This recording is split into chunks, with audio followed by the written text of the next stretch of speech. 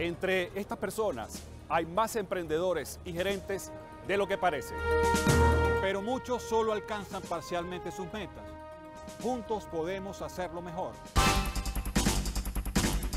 La gerencia se aplica en todo, en tu trabajo, en tus estudios y en tu crecimiento personal.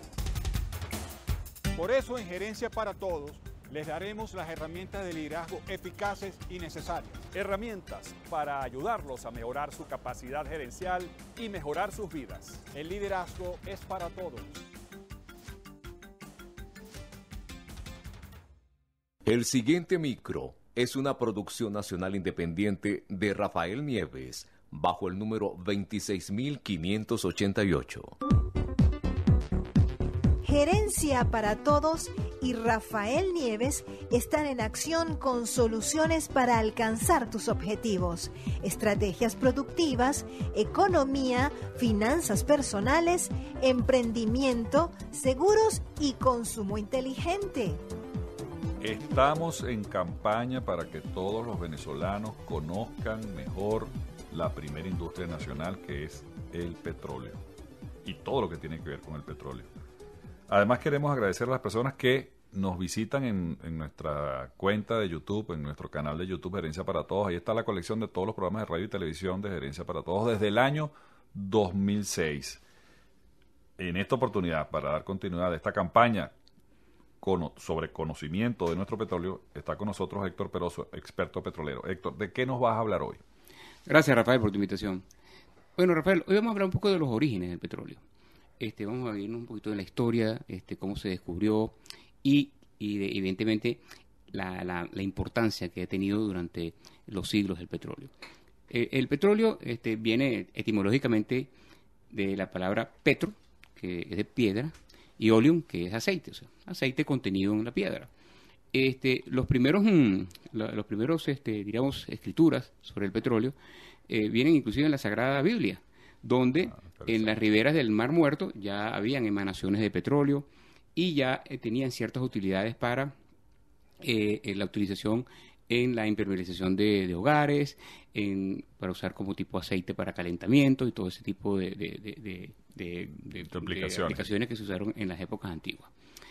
En Venezuela, este, el, descubrimiento del, petróleo se hizo por eh, los menes que habían y también la laguna de Guanoco que había en, el estado Monagas. Los menes, los famosos Mene Magroa, eh, eh, Mene Grande en el estado Zulia, y, hicieron entonces que las empresas extranjeras, en ese entonces casi todas norteamericanas, se interesaran en, el, en, el, en, este, en estas emanaciones naturales y eran activas, tenían, tenían, tenían gas. Entonces, este, aplicaron sus tecnologías para la perforación. En, entonces, en ese entonces no existían los eh, sistemas de sísmica y, tecnologías para tú establecer si habían o no eh, este, acumulación de petróleo dentro del yacimiento, sino que se veía si habían algún tipo de, de manifestaciones naturales. Prácticamente era el cielo abierto, pues se veía inmediatamente. Eh, claro, y había, comenzaba la producción. no, este, había perforación, evidentemente, pero una perforación bastante rudimentaria, pero ya sabían que había petróleo por las emanaciones de tipo mene naturales. Queremos agradecer al ingeniero Héctor Peroso por esta información que vamos a continuar en nuestros micros aquí en Gerencia para Todos para conocer mejor nuestro petróleo. Autonomía y productividad. Conéctate a gerenciaparatodos.com. Prensa, web, radio y televisión. Síguenos en arroba gerencia para todos.